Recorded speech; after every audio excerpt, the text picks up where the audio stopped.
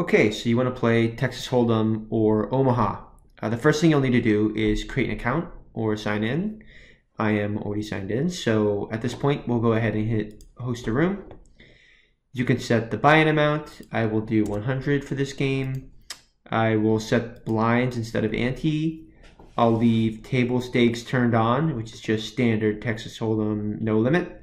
Uh, that's what I want to play. And I'll leave dealer's choice off. Uh, we're just going to play Texas Hold'em uh, at this table for the entire duration of, of the uh, of the of the game. So I'll go ahead and click create room.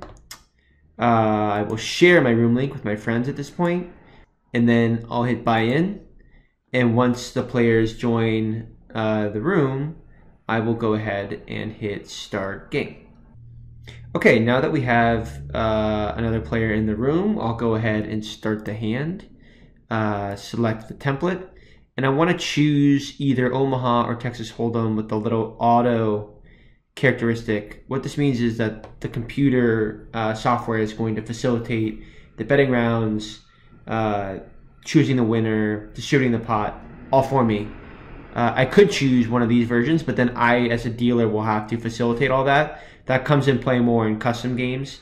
For the sake of Omaha or Texas Hold'em all night, we probably want to just choose Texas Hold'em Auto. I will load it, and there we go. We are playing Texas Hold'em, and I got a great hand.